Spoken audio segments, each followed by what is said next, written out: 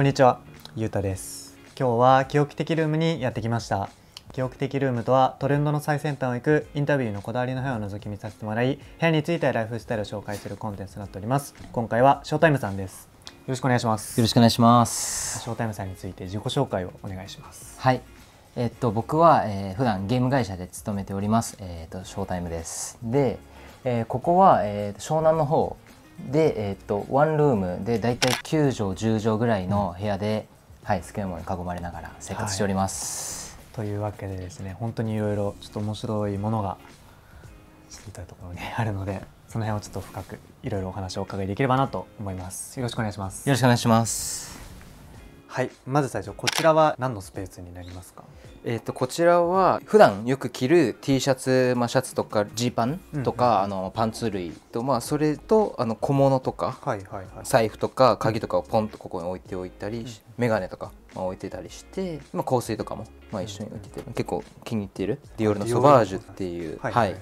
結構好きな匂いで。これは、あの友達がつけてていいなと思ってちょっとどこのって聞いて 同じやつを買ったっていうあーそうだった。感じなんですけど、ははい。い。でこちらが Harman Kardon っていうところのスピーカーでして、まあ、すごいなんかデザインがあの未来的っていうところに惚れてシカゴのはい。あの Apple Store で見た時に買いたいってなって母親に言ったんですけど当時その何のためにって別にスピーカーあるじゃんっていう別に音にこだわってたとかいうわけでもなかったので買ってくれなかったんですよ。ああそうだったんだ。ただあの日本帰ってきてやっぱりかっこいいからどうしても欲しいっていうのを伝え続けてお年玉を当時僕全額貯金しないといけなかったのを 初めてあの切り崩して自分のために使っていいよってなったのがこれで。へなのでそれ以来大切にしてるんだ高校1年生で今社会人4年目5年目とか4年目なんですけど、まあ、ずっとこれ使い続けてます、はいーそうなんだ。これだってスケルトンのこのデザインのって日本売ってるんですかね？えっとほほとんどメインですけど実はちょっとそうですね。とある場所に売ってると。ヨドバシで見つけてもらったと、はい。しかもヨドバシで、ヨドバシで。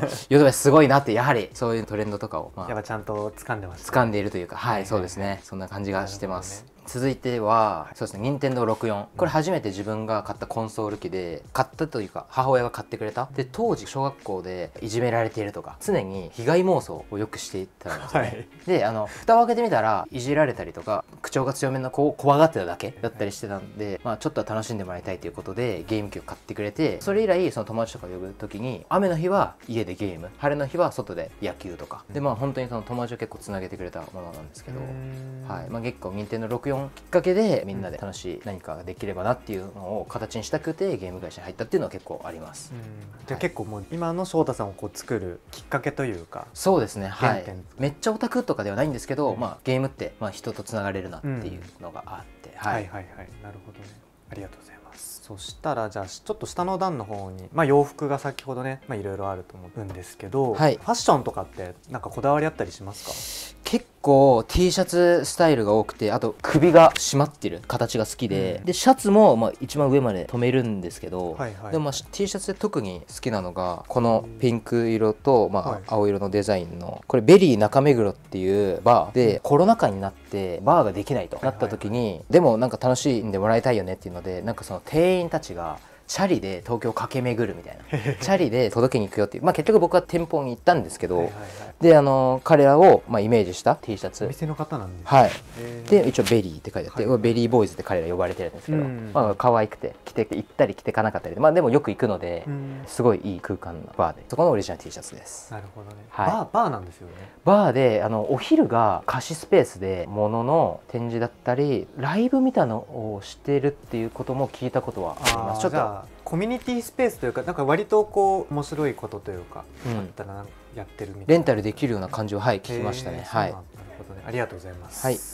えーっとあとはこの T シャツとかも結構好きでなんか結構可愛くて。これはどちらの？これはあの千葉で古着屋をあのまあ卸としてやってるシーカーズっていうところがあるんですけどそこに高校の頃からの友達が店長やってて彼ら一応卸値で売っててこれ T シャツ1000円とかで買ったんですけど一応事前に予約していけばあの一般の方でも入れるっていういうところでもうほんと何着買ってもまあ1万いかないみたいな すごいリーズナブルでかつ本当海外からもうコンテナごと輸入していいものとかを選んでお店に置いてるっていうのは結構面白い見たことない T シャツ結構あって。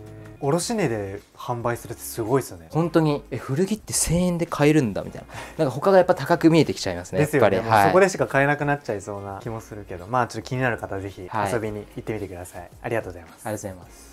じゃあ続いてこちらデスク周りいろいろ紹介をしていただきたいと思います、仕事はあれですか？そうですね。仕事はまたちょっと別の机を出してあ。その時にあのパソコンとか開いてやってるんですけどこれは普段まあ趣味とかジンを作ってたり、はいはい。まあ、ちょっと音楽を作ってみようっていう勉強とかをする時に使うものになっててこの机はあんまりあの普段は使ってないんですけどその中でもお気に入りなのがこの辺のフィギュアになってて、ポケモンが好きっていうのとか、あとスーパーマリオ、まあ、64が特に好きなんですけど、とかあの黒ひょうの、まあ、ブラックパンサーのフィギュアなんですけど、はいはい。それぞれ自分勝手に意味付けをしていて、はい。あのアルセウスっていうポケモンなんですけど宇宙を誕生させたっていうポケモンで。あそうなんだ。はい、彼が2体のポケモン、はい。時を司るポケモンと空間を司るポケモンを作って彼らがまあその世界を作っていったっていうその発端となったポケモンがアルセウスっていう、はいはいはい。まあなんか創造主的なところですかね、うんうんうんはい。まあ、自分も何かこの部屋とかでいてなんか何か作れたらなっていう先ほど言っうんたジンとか音楽とか作ってみたいなっていうので彼をリスペクトしてると。あリスペクトしてる、はい、はいはい。なるほどね。はい、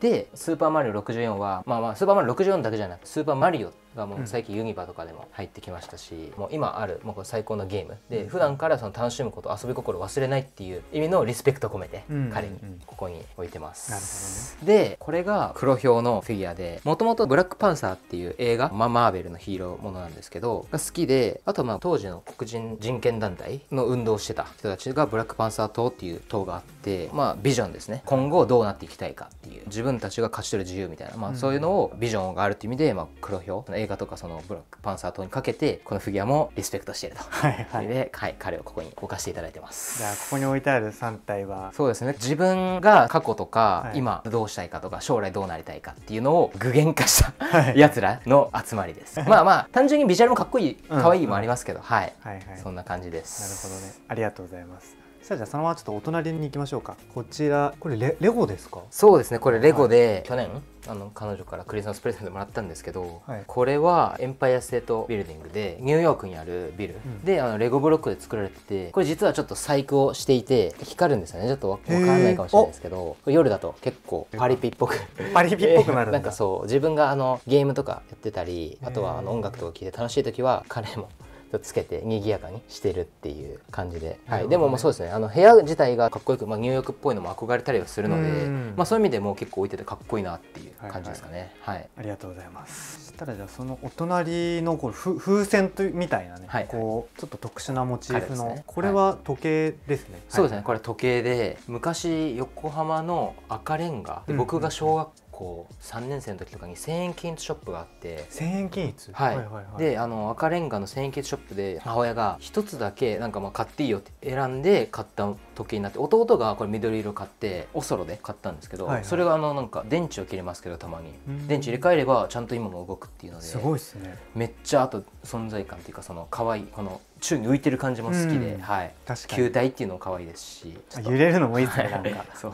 可愛いですね。はい。っていう感じです、えーはいありがとうございます、はい。そしたらじゃあそのまんまちょっと下ですかね、こちらレコードかな？そうですねはい。結構いろんなレコードがはい。あると思うんですけど、ちょっとその辺を紹介していただこうかなと思います。音はい。楽普段どういった音楽を聴くことが多いですか、音楽はそうですね。地域とかは関係ないんですけどヒップホップとかは全般的に好きで、特に好きなのがカニエ・ウェスト、まあ、シカゴのラッパーで、うん。まあ、今ファッションとかも結構有名ですけど、イージーっていう彼のラインのうん。でギャップとコラボしたりとかしててそうですね。当時このリリースがその配信とかではなかった、はいはい。一部配信でティダルっていうその配信サイトでは配信されてたけどこの CD とか出なくてでこのレコードも頑張ってヤフオクで漁って見つけて、まあ買ったんですけどこれ影のデザインもそうですけど曲がもうほんと素晴らしいんで、よく聴いてたり。あとは他のレコードとかだと 90s とかのヒップホップも結構好きで、はい。ヒップホップって結構強いというか怖いっていうかそのまあ古い考えかもしれないんですけど、まあなんとなく一般的なイメージはちょっとありますよ。ねはい、ちょっと暴力的な部分もある。けどその時に、まあ、90年代なんですけどデラソウルっていうこの彼らはあのヒップホップってハッピーでもいいじゃんっていう、はい。テイストが一気に変わった、うんその時期がありましてこのアルバムは代表的なやつで「3 Feet and Rise」うんうんもうジャケがまずそもそも可愛いっていうのめとちゃくちゃポップですね。はい。かわい。いちょっと髪型めちゃかっこいいなと思って、はい。床屋でちょっとお願いしたんですよ、はい。まああのはい全然ならなかったんですけど。はい。っそこはちょっとはい。うんダメだった。ていうこれもお気に入りのアルバム、うんうんうんであとそうですね。あとあげるとしたらこれですかね。ゆるもあさんっていうアーティストの彼があのピックアップしたミックスのアルバムですかね、うん。でもジャケットも可愛いんですけどここがあの、まあ、湘南の方に、まあ、引っ越してた時に、はい。カフェでなんかその流れてたアルバムがこれレコードで流れてたんですよそれが。へー。でえめっちゃかっこいいじゃんってなって僕当時知らなくてそれ。あのイルモアさんっていはい。う方を、ただ検索してみたらすごい良かったんで、うんうん。これもメルカリかヤフオクかでそう見つけて即落札したんですけど、うんうん。はい、結構お気に入りなのでちょっとコーヒー一杯とすごい合うっていう感じの落ち着いた感じのアルバムです。ありがとうございますはい続いてじゃあソファー周りちょっとお話をお伺いしていきたいなと思います、まずこのブルーのソファー。これですね。かなり存在感があるんでね、どこのものなのかお伺いしたいんですけど、はい、えっと、これはリーンロゼっていうところのトーゴっていうソファーで、はい。あの実際店舗に見に行って生地とか色とかめちゃくちゃあの選べるのでその中で店員の方にもうめちゃくちゃ存在感のある青でって言ったら これだったんで、はい、決めたものになりはいはいます。はい。どうですか？これ実際に座り心地とか座ってみたら。いやこれめちゃくちゃ良くて、はい。あの逆にこのベッドレベルで落ち着いちゃうんで、こう行くのがなかなあかもう起き上がれなくそうなかなかそうこの辺にもちょっとコーヒーとか置いてたらこう寝ちゃう時とかもあって、うんうんはい。まあ、でも本当にそれぐらい居心地がいいのにどんだけ座っても腰が悪くならないっていう結構歴史が長いっぽくて何十年とかあのこのソファーは本当にそれであの張り替えでどんどん同じものをなんか使い続ける人も結構いるみたいへで、はい、そうなんだだから本当には理解できるなっていうか、はいいははい。はいそれぐらい、うんいいなって思って。この8月に買ったんですけどそうもうすでにあの結構もう好きです、うんうんうん。はい、ソファーの高さが結構低いっていうのも特徴的というかあれですよね。確かにそうですね。自分の部屋あのベッドとかも結構低めの位置にしてるんですけど、あんまり高くするとそのベッドとソファーですごいそのギャップが生まれちゃうんで、まあ、そこも考えて低い位置にしたいなっていうふうには思ってて、はい、うん。なるほどね。ありがとうございます。はい、続いて、えーとはい。こちらアート作品ですね。こ3点あるので、これをちょっと紹介していただきたいなと思います、はい。まずじゃあ左からいきましょうか。はい、とこちらは自分のおじいちゃんが当時もうちょっと亡くなっちゃったんですけどあのエジプトに出張した際に街で見つけて買ってきたっていう絵でちょっと誰のかとかわかんないんですけど一応なんかパピルスっていうものに絵を描いて、あのエジプトっぽい感じの絵を作っているっていう絵絵ですね。はい。であんまりちょっと誰かとかそういう情報わかんないのであれなんですけど、うんうんうんはい。まあすごいあのかっこいいなと思って。かなり30年前とかのものなのかな？ちょっともうわかんないんですけどグラデーションがすごい白から青に綺麗なんでなんか全然あと色あせないっていうのがすごいなっていう、うん、なんか全然30年前のものと思えない、うん。状状態の良さというかなんかすごいですね。綺麗で本当に色味も。はい、で隣が、えー、と美奈子さん、まあ、あの前あの登場してきた美奈子さんなんですけどはいはい。があの、まあ、絵を描いててその行く末、まあ、フューチャーっていう絵で、コンセプトとか深くは美奈子さんに聞いてほしいんですけど、はいはい。牛に牛の肉の絵柄っていうのめちゃくちゃ可愛いのとゲームで「塊魂」っていうゲームがすごく僕好きで,、はい。でそのゲームの世界観とちょっと似てるっていうのが、まあ、結構刺さってインスタに上がった時にちょっとすぐ買わしてっていうような連絡をして、まあ、実際買ったものになります。気になる方はぜひじゃあ美奈子さんの方もちょっとチェックしていただければと思いますはい、はい。ありがとうございます。で、えー続いてえっと僕がめちゃくちゃかっこいいってもうすでに紹介したかもしれないですけどカニエ・ウエストの,、あの絵でこれはもともとディズニーでアーティストをやってた人がそのディズニーを辞めたんだけどあのでも絵を描き続けてるっていうことで、まあ、バスケット選手だったりヒップホップアーティストとかその辺を題材にその絵を描いてるっていうことで彼のオフィシャルサイトで、まあ、カニエ・ウエストの絵50枚60枚ぐらい、まあ、売りますよっていうふうになって、まあ、買って一応60分の11っていうふうに書いてあって最近再販したっぽいあ感じはするんですけど、はい、結構でも貴重というかあれですよね。そうですね。かつなんかそのディズニーの作品を超えてそのディズニーの世界観のものが、まあ、ディズニー全然詳しくないんですけどそうなんかちょっと絵柄としてはやっぱり可愛いので、うん。特徴的かなって思いますしかつ自分の好きなものと融合してるっていうのが買うきっかけになったかなっていうふうに思ってます、うんうんうん。ありがとうございます。続いてベッド周りちょっと紹介をしていただきたいと思います、はい。まずは、まあ、ローベッドですよね。そうですね。はい。これはなんかやっぱローベッドにした理由はそうですね。もともとずっとその中学校から同じベッドを使っててで IKEA のベッドでこれもまあ全部 IKEA なんですけど、うん。はい、あのただそのベッドのフレームが、まあ、この辺ぐらいまで来ちゃってた、はい。結構た、まあ、高くあの来ちゃうと、まあ、空間としてちょっと場所があの狭くなっちゃうなっていうので部屋もサイズが限られてるので、まあ、なるべくあの空間を、まあ、作りたいなっていうことであのフレームの部分だけ全部な取っ払ってその子とあのベッドのみになっててそれで場所を確保してる感じです。はいはい。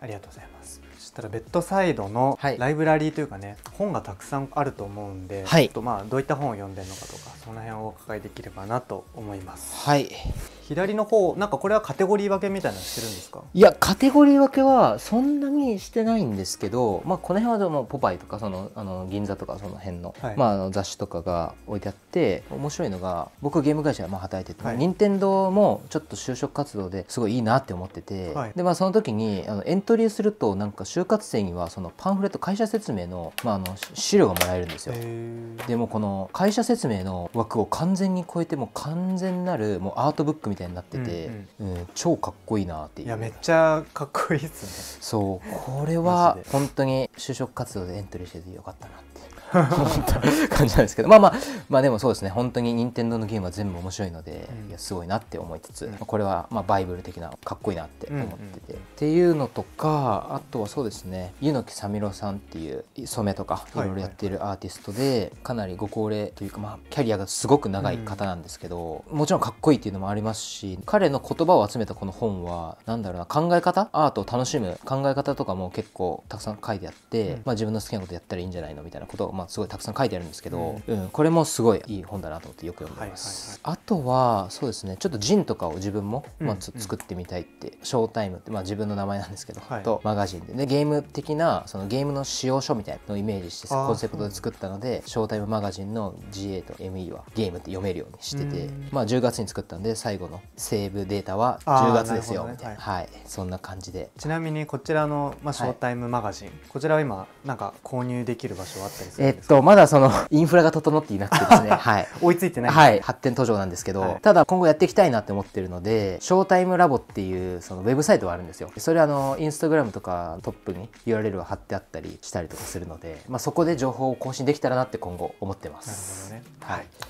かあとはもうこれがあの唯一なんですけど人生で買った青井司さんっていう女優の写真集で、はい。写真が綺麗すぎて、うん。写真集なのに表紙にその人がいないっていう確かに。かなりアートな感じになってるんですけど、はい。もうめちゃくちゃかっこいいのでこれもぜひあの皆さん買って中身とか見てみてほしいなっていう一冊ですね、ははい。いはい。そんな感じかなって思ってまなるす、ほどね。ありがとうございます。はいはい、あとはハートカクテルっていう、はいはい。ハートライフこの渡瀬製造さんっていうイラスト、まあ、絵描きというか、はい、のあの絵になってる、まあ、漫画。で結構バブリーなはい。トレンディーな感じという、海の話だったりデートの話だったり旅館に行ったりとかいろいろまああるんですけど、うんうん。こう恋愛模様とかが結構古臭くて面白かったりするんですけどこれはもともと母親が持っていた漫画で、自分もなんかどっかのタイミングで知るきっかけがあってで家の本棚見ていたらあってちょっと欲しいっていうことで、うんうん。まあ大切にするならあげるよっていうのでもらったっていうものなんですけどそれと合わせてジャズとかもたまに聴いてみたいなって思っててそのお父さんとかジャズく詳しいんでジャズでなんかおすすめないって言ってたらハートカクテルのジャズの CD いいよって言われて、はいその漫画の映像化もしていてその BGM で使ってる曲とかの曲集なんですけどうん。当時そのお互いその父親とか母親がこれを好きだからすごい趣味があったとかで結婚したとかそういうのでは多分ないと思うんですけど蓋を開けてみたらお互いがちょっとものは違えど同じ方向のものを持ってたっていうのは結構運命的な感じ感じますけどね。はい、はい。なるほどね。そこがじゃあちょっとつながってたというはい。なので大切にしてます。はいはいはいありがとうございます。はい。続いてランドリー紹介をしていただきたいと思います。はい。まずじゃあ洗濯機これはドラム缶とかって言われてる？ドラムそうですね。ドラム式の乾燥機の機能がついた洗濯機になってますね、はい。これはちなみになんかなぜ使っているとかそういったところの理由はありますか？僕もともと都内とか出身じゃなくてまあもうここそもそも神奈川なんですけどもともと東京に住んでてただその前はあの地元が愛知なので一人暮らしでその生活していかないといけないってなった時にやっぱ家帰って洗濯物を干すっていう作業はちょっとできないなっていうところで家で寝てる時とかまたはあの会社から帰った時にもうあの洗濯が終わってるっていう状態がやっぱりいいなと思ってそこのやっぱその労力をかけたくなかったところで一番最初に買った家電かもしれないです、結構楽ですかじゃそうですね。やっぱ楽ですね。1回のあの量が少なくても多くても結局あの時間は一緒なのでそのこまめにそのもう家出るたびに洗濯かけて家帰ったら終わってるっていう。だから昨日着たものを今日着るみたいなことも、まあ、ぶっちゃけ寝てる時に回せばできるので、はいはいはい。それは強いかなって思ってます。ドラム式の洗濯機とかって、はい。結構お値段とかってこれは確かに、まあ、ちゃんとかけたような気がしますね。すよね。はい。まあじゃあそこは予算をかけても。まあそうですね。これパナソニックのキューブルかな、はい。ちょっと忘れたんですけどはい。で、はい、しっかりお金かけても価値はあるかなと思ってます、なるほどね。ありがとうございます。そしたらじゃあその上にあるランドリーバッグみたいなもの、はいって言ったらいいんですかね、はい。はい。このバッグは何を入れてるんですか、これはそうですね洗濯が終わった替えの、まあ、シーツとか、枕カバーとか洗濯で使うその予備の柔軟剤とか、まあ、柔軟剤はこっちに入ってて、うんうん。ただまあそうそういうものとか、まあ、予備のものが入ってますね、はい。普段あんまり使わないものがもう詰め込まれてるっていうやつでそもそもこの袋は三三茶とかパルコに入っているプエブコっていう、はい。ミリタリーとかのものをリユースして作ってるものとか、うんうんまあ、ミリタリーだけじゃないかもしれないんですけどっていう雑貨屋さんでなんか物買った時に結構まあ大きいもの買ってでそしてそのプエブコさんが、まあ、これをショッパーに渡してくれてでかって思いながら、はい。まあ、これお茶っ葉を入れる袋らしいです。ここにおお中身はお茶って書いてあるんですけど、はい。こ、れめっちゃ部屋の雰囲気に合ってますね。そうですね。なかなか逆に買おうと思ってもお茶っ葉の袋って検索しないと思うので結構ユニークかなっていうふうに思ってます。はいちょっと欲しくなったらプレブコに行けばはい、そうですね。プエブコに行って、たくさん買い物する。はい、じゃあ買い物しましょう皆さん。はい、ありがとうございます。はい、続いてショータイムさんのスニーカーについてちょっといろいろお話をお伺いしていきたいんですけど、はいスニーカーはお好きですか？スニーカーは好きです。はいはい。まあスニーカーね結構やっぱストリート系のブランドのものの方がやっぱ多いですかね。そうですね。やっぱりうんあのバスケットボールをやっぱりずっとやってたっていうのもあるので、うんそのバスケットボールシューズっていうのは多めにありつつも、最近はやっぱバスケしないっていうので、あのだんだんちょっとスタイルは変わってきたかなっていう風な感じはあります。というわけでまあちょっとねスニーカーがいろいろあると思うので、はい今回ちょっとお気に入りのスニーカーというか、はい。それを何点かちょっと紹介をしていただきたいなと思います。はい、まずはバンズのオールドスクールプロっていうスニーカーの、えタイラー・ザ・クリエイターっていうラッパーとのコラボになっていて、インソールがまず猫なんですよね、うんうん。めちゃめちゃ可愛い。で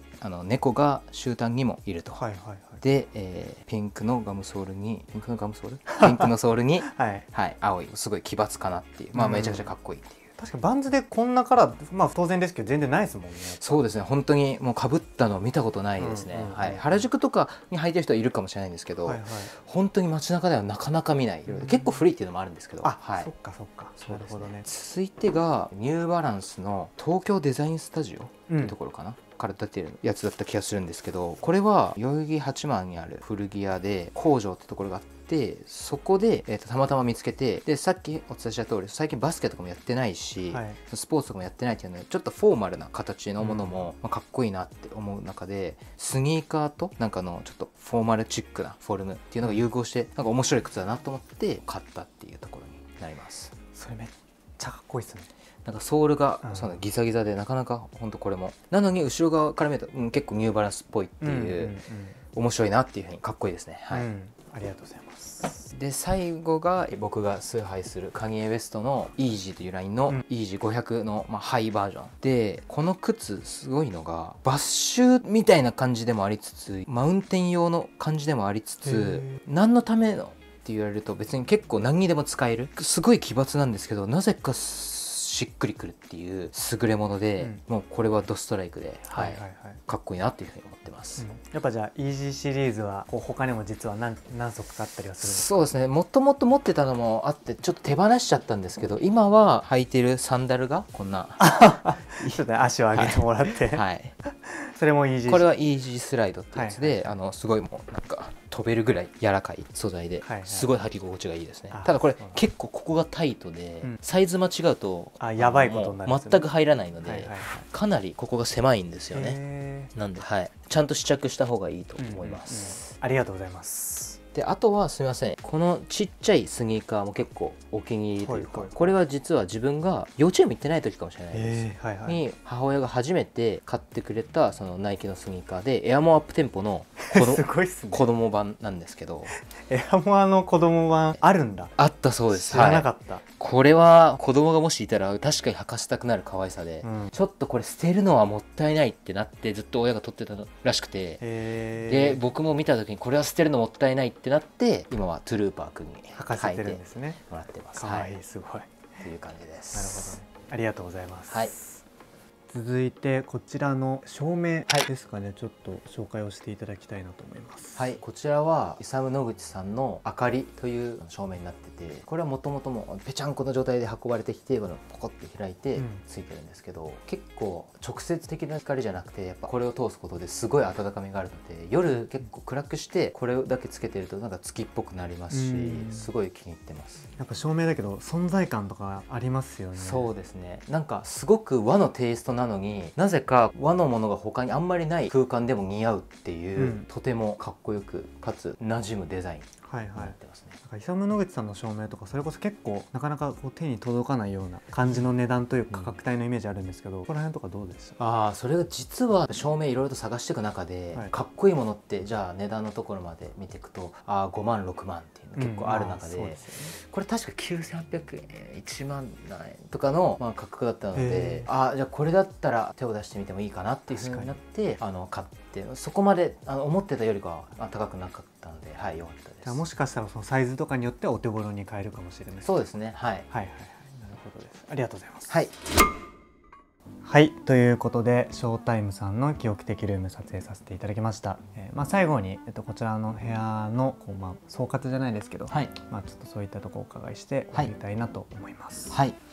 そうですね。えーっと普段あのいろいろとかっこいいものおしゃれなもの可愛いものっていうのがいろいろとまあ街に溢れてる中で自分の部屋に合わないなっていうので買うのをまあ逃しちゃうと、うん。やっぱあのもう一点そのものとしてはかっこいいけど部屋に合わないってなるとやっぱ買わないなっちゃうんですけど、うんうん。まあ、何でも合うような形にしたいなと思っててそう融合的なというか、うん。何でもそのしっくりくるっていうようなコンセプトで部屋をまあまとめていて和っぽいものだったり、うん。まあ、ちょっとストリートなものだったりっていうのが、まあ、うまく混ざり合う感じを目指しててあとはそうですねやっぱ好きなものに囲まれてたいっていうのはあるのでやっぱり。古着屋でいうバックヤードじゃないですけど、はいはいすごいあの面白いかっこいいものとかいろいろたくさん集まってる、うん。けどその見せるためというよりは宝箱みたいな感じじゃないですけど、うん。まあ、本当にその自分のためだけにある部屋になってるのかなっていうふうには思うんですけどただやっぱいろんな人を呼んであの遊びたい楽しみたいっていうのもあるのでゲームだったりそうですねあのパズルだったり、うん。あとはラジコンとかフリスビーとかけん玉とか、まあ、なんかいろいろと準 準備をしてるんですよね。まあ、そういうのがあってちっちゃいお子さんが来ても、まあ、おじいちゃんを呼んでも、まあ、楽しめられるそんなような コンセプトでやってます。うんうん。はい、なるほどね。ありがとうございます。はい、じゃあ最後におショータイムさんの方から何か告知があればはい。それをしていただきたいなと思います。はい。えっとまあ、告知という告知にはなってないかもしれないんですけど自分のまあウェブサイトを持っていまして、はい。まあ、あの趣味でジンとかを作ったりとかもしているので、うん。展示も今年初めて出させていただいたんですけど、友達に誘われて。ただまあそういうのを今後まあ活動をしていきたいなというふうに思ってますので、うん。まあ、そのウェブサイトで告知とかもできたらなというふうに思っている告知の告知になってしまいました。はい。そういうウェブサイトがあるので、はい、インスタグラムのあのプロフィールに URL 載ってます。はい。ショショータイムラボですはい、ショータイムラボってはい。ちなみにこの場所も僕は勝手にショータイムラボっていう命名していてあその拠点になってるので。はいはいはい、というわけで、はい。まあぜひ気になる方、えっ、と URL の方をちょっとチェックしていただければなと思います。よろしくお願いします、はい。という感じで今回の記録的ルームはこれで終わりたいと思います。ゲストはショータイムさんでした。ありがとうございました。ありがとうございました